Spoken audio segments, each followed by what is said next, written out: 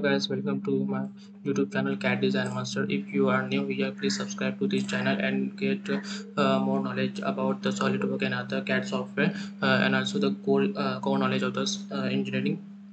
Okay? Mm, especially for mechanical engineering students. Okay now in this in previous tutorial i had explained you tab and slot and uh, sheet metal gusset uh, command. In this tutorial i will going to you I will uh, learn you the extrude cut and simple hole.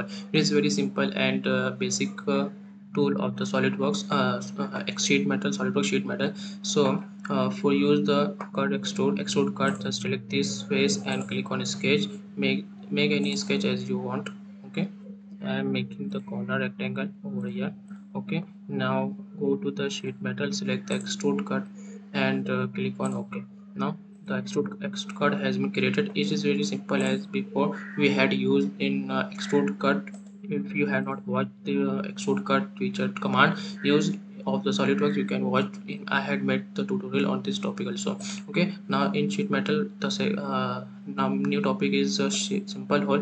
It is uh, very simple. Just select the face and it will make the hole over here. You can change the dia. Okay now you can see what is happening? Okay link to thickness etc etc all bodies and you can make the uh, more much more update or comma uh, changes over here.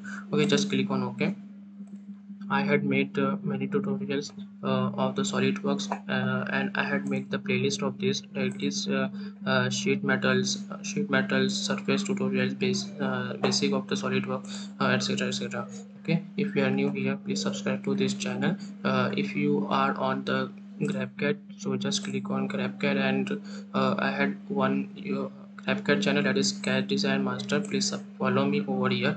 I had made um, multiple tutorials and models. Uh, I had I uploading over here. Okay, so please support me. I will definitely make the more videos on SolidWorks and other CAD softwares. Thank you for watching. In next tutorial, I will inshallah make the tutorial on the vent. It is in sheet metal. Vent is very important tool important commands vent and normal cut. Okay. Thank you for watching. We will meet in next tutorial. I hope you learn more about i you are enjoying the learning of solidworks. Thank you for watching